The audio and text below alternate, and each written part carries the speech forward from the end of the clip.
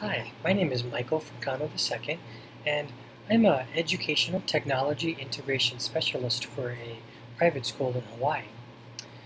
This is my Google Classroom video series, and they are a selection of videos that I've created to showcase what I think are some of the lesser known features of Classroom. Uh, some of the features that aren't explicitly explained uh, anywhere and uh, might confuse um, a lot of teachers and students out there.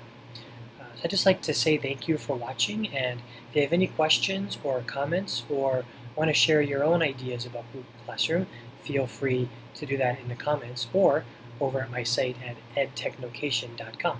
Thanks.